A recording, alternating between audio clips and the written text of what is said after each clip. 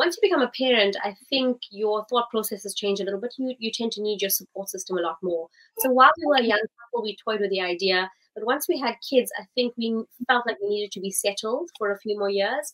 As the kids got older, we thought about it again. You know, my husband and I have always wanted, I think him more, I'm more of a homebody, but he's always wanted that experience of living in a different country.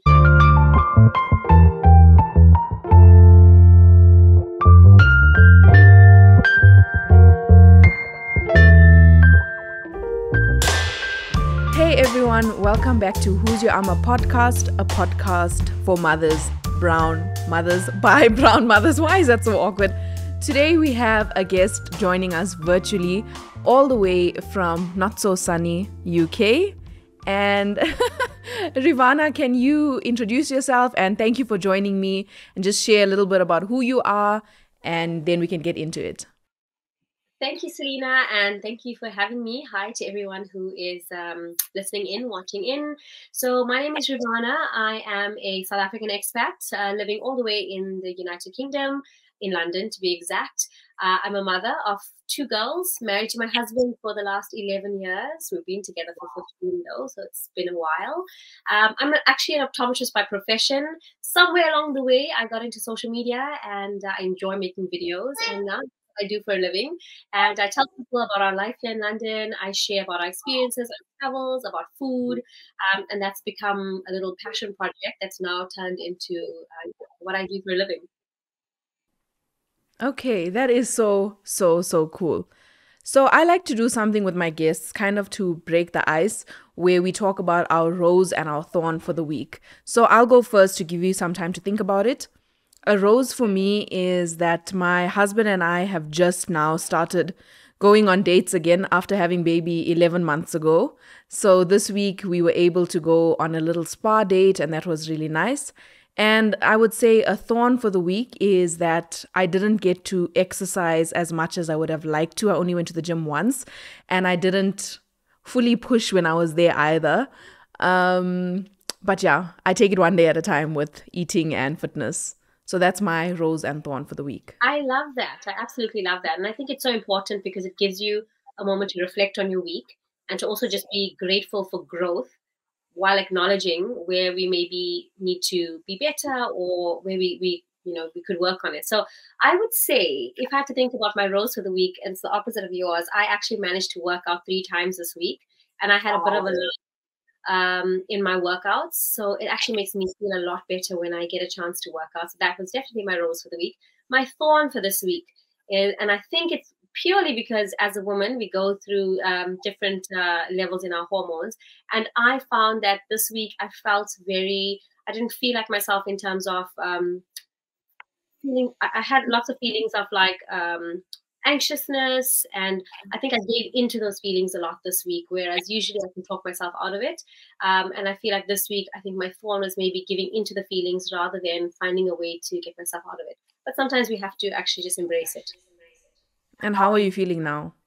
I think i'm feeling a lot better and i think a bit of it a bit of the feelings that i was having was to do with my daughter writing her first exam uh, this week, and uh, the preparation for that. It's also the end of the school year, the year, the end of the school year here in uh, London or in the UK, because we basically run a September to July school year. So basically, this is the last two weeks of school, and there's a lot happening, lots to remember, lots to think about, and I think that's where a lot of those feelings of anxiousness really came in. Yeah. Oh, as long as you're feeling better now and I, I, taking you know things as they come. To embrace the fact that we won't feel 100% all the time and that's okay because that's life you know? So i think just sometimes not feel okay is also okay. Yeah it's how you manage those highs and lows that will help you get through it. That's good. So like you said you and your family live in london. Um, can you share a little bit of your immigration story and how you guys went over why you went there and how it's been so far? So i think like anybody everyone has at some point in their life thought about immigrating, thought about what it might be like to live in a different country. And for yeah. us, it actually, you know, it was something we toyed about, I think, as a young couple before we had kids. We got married in 2013. We welcomed our first child in 2014 very quickly. And um, Skip the harsh chemicals and join the sustainable beauty movement with Arum and Gold. Discover our natural, high quality, organic, environmentally friendly skin and home care products. Nourish your skin with our body butters, scrubs, balms, and indulge your senses with our home care room mists and diffusers.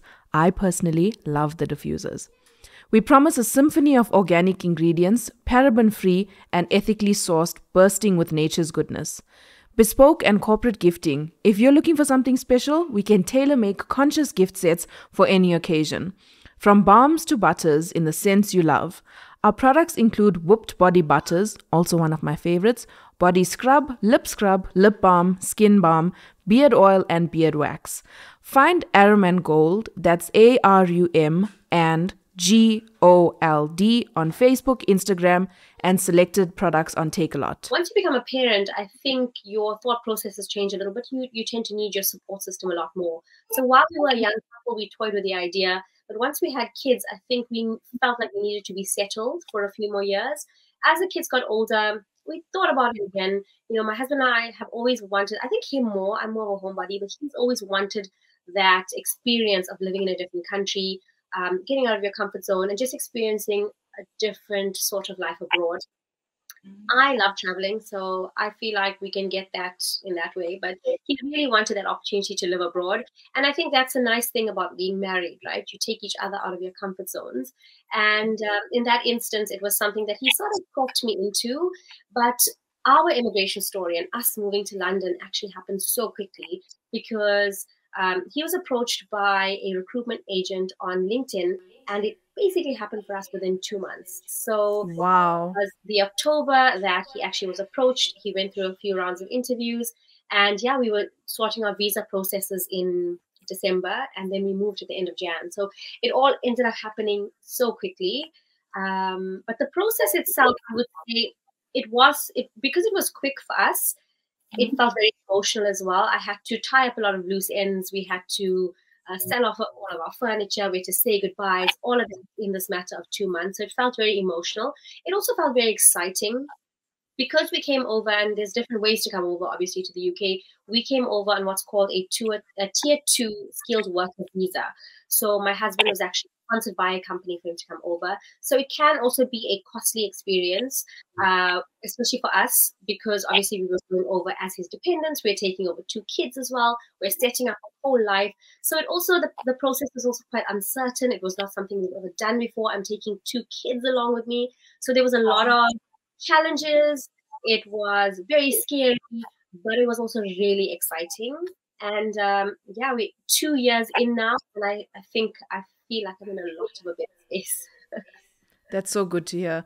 It's you're right. It is. It's kind of uncommon to hear of something happening so quickly, and then also you guys basically started from scratch with new kids. Well, with kids, yeah. Starting from scratch, everything started. Yeah. Scratch. And also in a place that you've never, you don't know, you don't know where to go get your stuff from. So yeah, everyone. We'd never even visited before. We moved to a country that you've never been to. Did you know anyone there? Sorry? Did you know anyone there before you moved? We had some friends. So we had a few friends. Um, but yeah, we didn't we didn't have any family here. Uh, so we were basically starting from scratch. And also a lot of the times when you know somebody that's here, they're not going to necessarily be quite close to you. Also, London yes. itself, you could be living in London and it could take you an hour and a half to get to where the person is because yes. You know, even whether you're driving, whether you're taking public transport, traffic is insane in London as well. So it doesn't necessarily mean you're close to somebody, you know, in mm. terms of distance. So that's okay. Um, everyone looks from the outside and wants to relocate. I've thought about it many times. I still think about it quite often. Can you share some of the realities of living abroad, especially being away from your family and your safety net, so to speak? Yeah. So I would say, of course, the idea of living abroad is romanticized to a degree.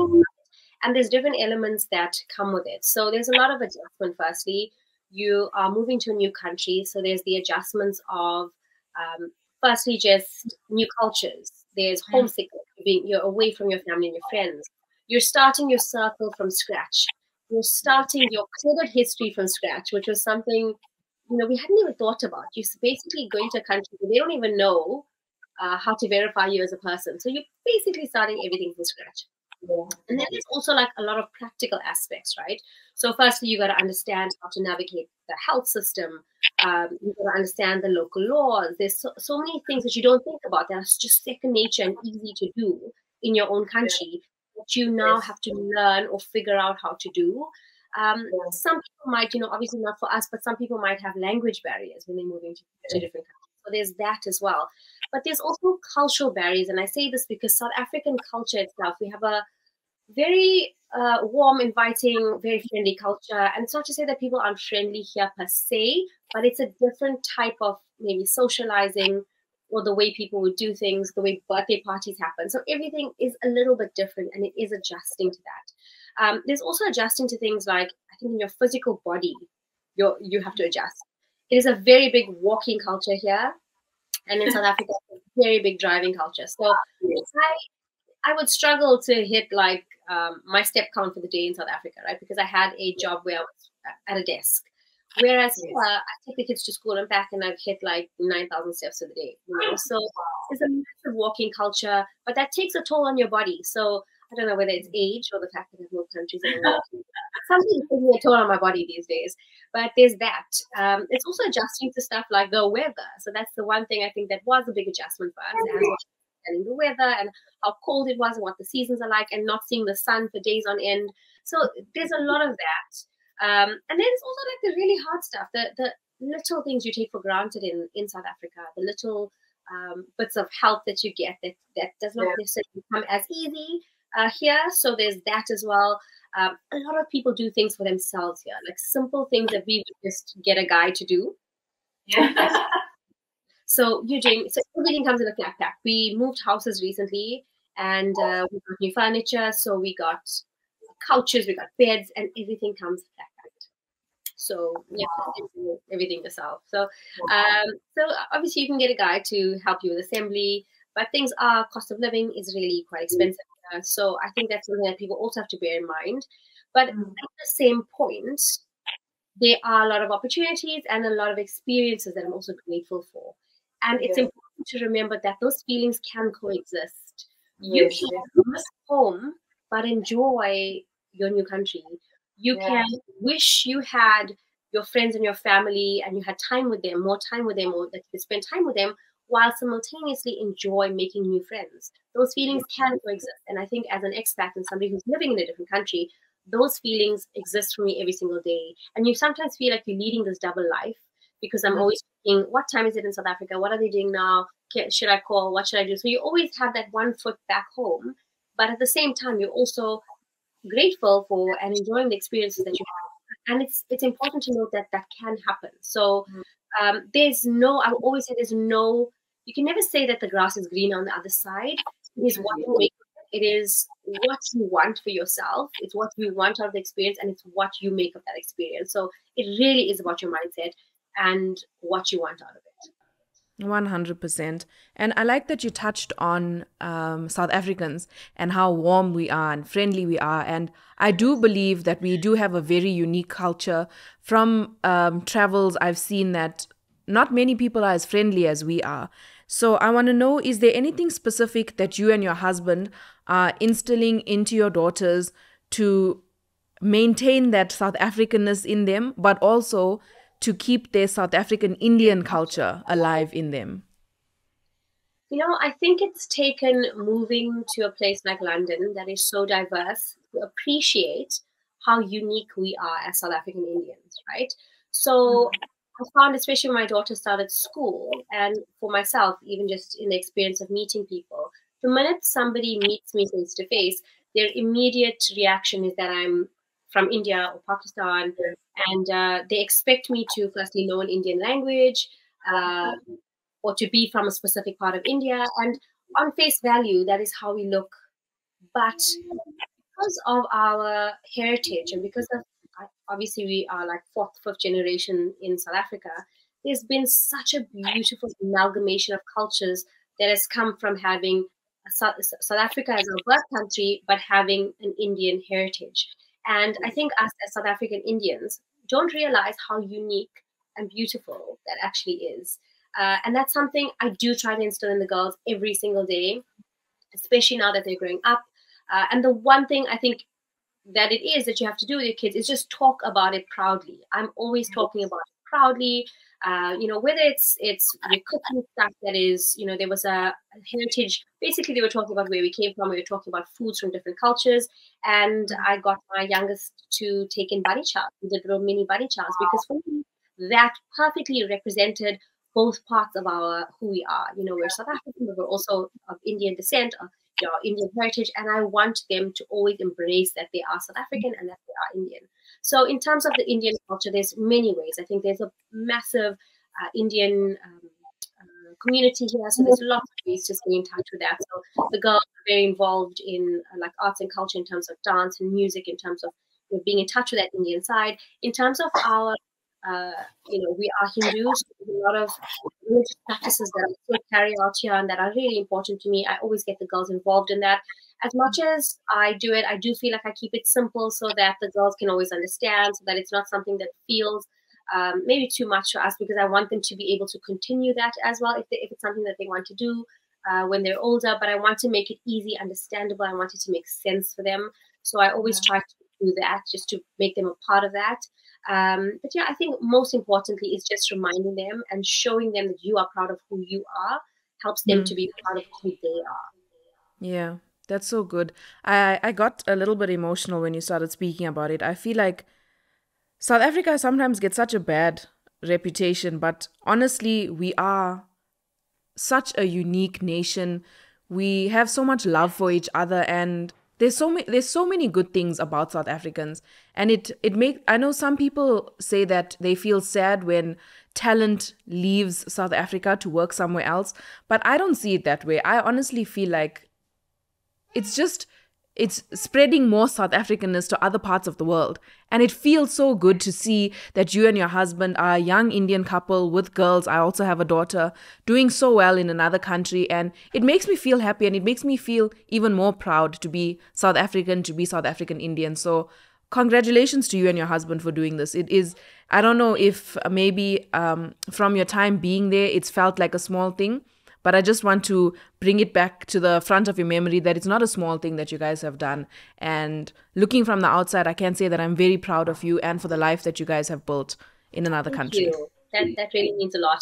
You know, if there's one thing that I have had to bring to the front of my mind, especially being a South African Indian now living in a in, in a country like um, England or you know living in London where it's so diverse, is we always are, especially as South Africans, we tend to have bit of a complex about ourselves, I guess.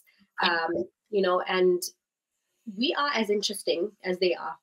We are as interesting. We are as exciting. We are as interesting as they are. So, for example, talking about who we are and our background, people mm-hmm. find that super exciting as well. So, a lot of times we go out thinking, oh, they're so cool. They come from this place and they have this background and they lived here and they studied here we're just as exciting, we're just as interesting. So just be, I think that's a, a big learning curve because we tend to have, um, what is the word that I'm looking for? Um, imposter syndrome. Ooh. You know, so I, I just feel like that was something that I had to get to the front of my mind that we are as interesting, our culture is as interesting, it's as unique, it's as beautiful, and I just want to tell that story. So tell your story because you are worth speaking about. And um, yeah, South African culture, I think, is just, I think being here has made me appreciate how unique and beautiful it is. And our food. It's made me appreciate our food a lot ah, I love that. I love that. So, um, like I said, I had a baby 11 months ago, and in this journey, I've seen how important it is to have a community around you. How has being alone, so to speak, impacted your marriage and what steps have you taken to keep your marriage a priority? So, you know, I must be honest, being away from your support system is really hard. Um, mm. And I think it's important to already be on a good footing when you do big things in life, anything big in life, whether it's starting a new job, whether it's deciding to have a baby, whether it's immigrating. I think you already need to be on a good footing because those sorts of things can be make or break in a marriage in all honesty you can either become really close or it can actually make you challenge each other more. So for us, I think, especially because it was something that my husband wanted more than I did at the time, it took a, longer time for me to come on board. Um, when we got over here, you have to realize that you are both on the same team. Yes. You're not working against each other, you're working together. And you know, one of the ways that we try to stay connected, and it's not easy because you don't have your your friends and family here. Trusting people with your kids is really hard, and I'm sure you understand that feeling. Especially as a first time mom, it's even more difficult. But trusting somebody, having somebody that you trust around your kids is also really hard. So even for us to have gone on that first date to get a babysitter over, it, it takes time. So we try to invest time in each other and we try to set those boundaries with the kids. So, for example, on certain evenings, especially um, you know on weekday nights, there's a certain time. Obviously, the kids have a bedtime; they have school the next day. But we set aside time where we sit and we will have dinner together.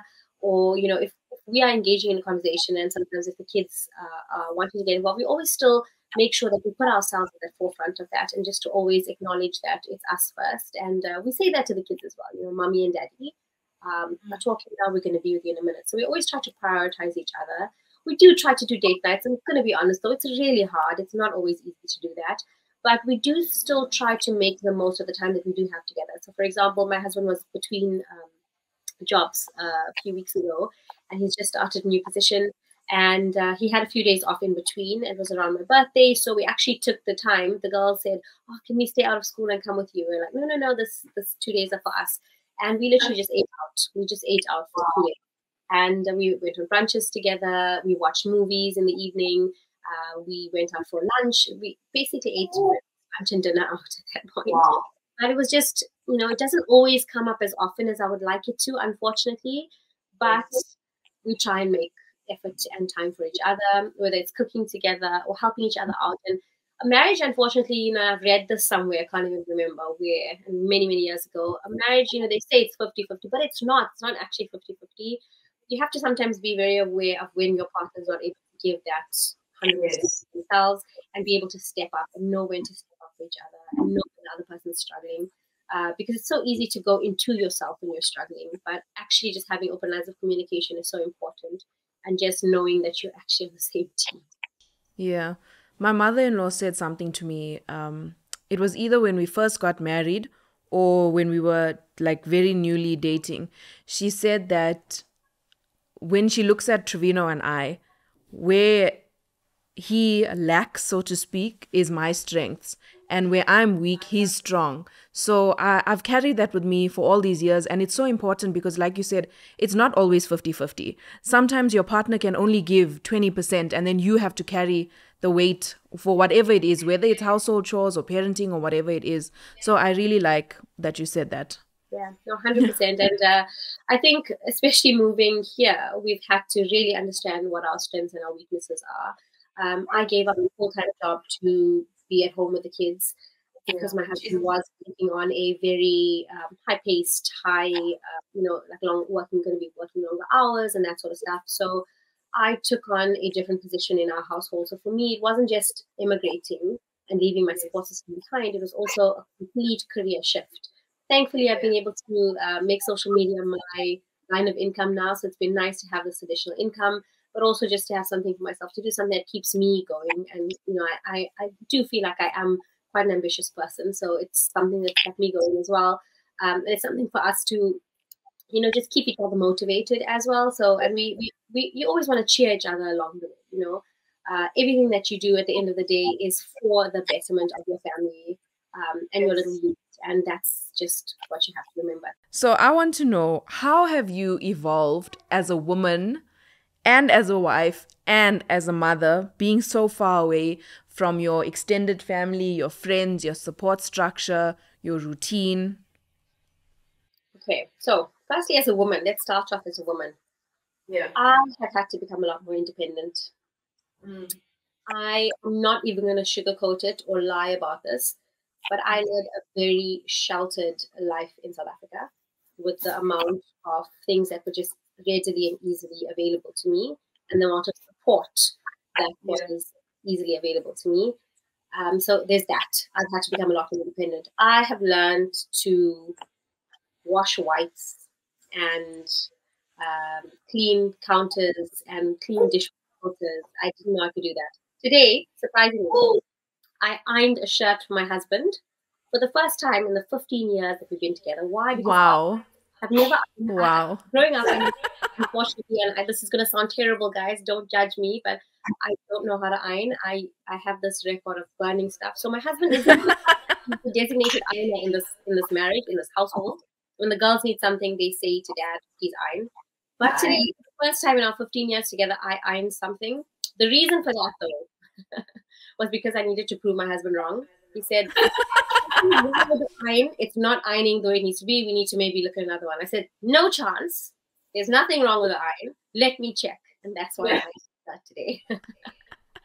oh, wow. I love that. But um, so, yeah, as a woman, it's made me a lot more independent. I've had to really learn to do things that I never had to do before. I've learned resilience that I didn't know I had. Um, I think as a wife, it's made me a lot more understanding and uh, patient. Uh, maybe my husband might beg to differ, but I think I've grown. but I've, you know, I've seen a lot of because of of um, of the experiences that we have and this thing that we're in together. I think as a wife, it's brought me closer to my husband as well. It's brought us closer together and it's helped me understand, I think, him in a different light because I get to see a side of him that I didn't know before, perhaps, because, you know, it's very easy for a couple to be perfectly rosy and happy when things are good in your marriage and you are going good times. It's very easy for anyone, you know. But going through challenges and going through hardships and going through difficult times is what really tests a marriage. So I would say that's going through this experience, which is obviously challenging while at the same time is exciting, helped me to see a different side of him and definitely brought me closer to him. So as a wife, it's made me more understanding, more patient. Um, yeah. I, I, um, and then as a mother, honestly, I think it's made me more resourceful and more creative because I have had to figure out how to make sure that the kids stay connected to their culture, still feel connected to their friends back home, while embracing these new things that they are exposed to.